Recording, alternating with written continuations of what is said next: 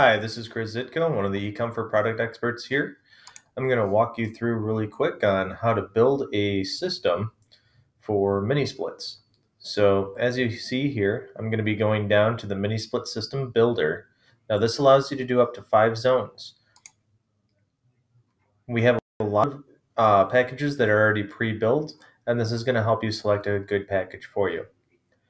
First, you have your cooling only or your heating and cooling. I always like to reference that we only have single zones in cooling only. Um, the manufacturers have changed to heating and cooling for all multi-zones. Uh, what you're going to do is select normally heating and cooling and what type of uh, indoor unit that you'd like, wall mounted, ceiling cassette, floor mount, concealed duct, or ceiling suspended.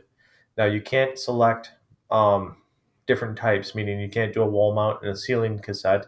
If you want something like that, it can be done, but you're going to have to call in and we'll package that up for you. Right now I'm going to do wall mount. I'm going to hit next. I'm going to say that I need a three zone system right now. I'm going to hit next. What size indoor units do you want? Right now, I'm just going to do three bedrooms. I'm probably looking around a six, a six, and maybe a nine. Now, I always suggest starting smallest to largest if possible. Hit next, and you can view re your results. Now here it's going to give me all the ones that have essentially a 6, a 6, and a 9.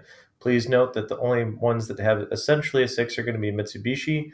Most of the other manufacturers are going to be 7s. And if I remember at Gree, it's only going to start it as a 9.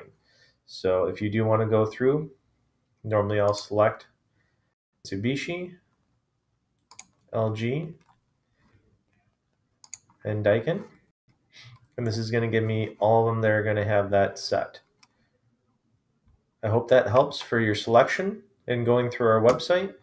The mini split builder form is going to be located right on the page, right below where you see mini split systems ductless, and then you're going to go mini split builder.